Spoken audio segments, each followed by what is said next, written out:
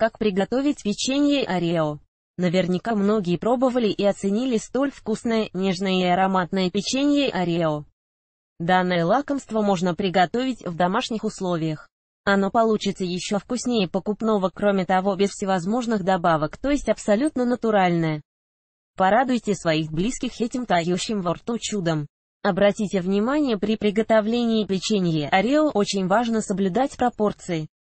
Количество всех ингредиентов должно быть именно таким, как указано в рецепте.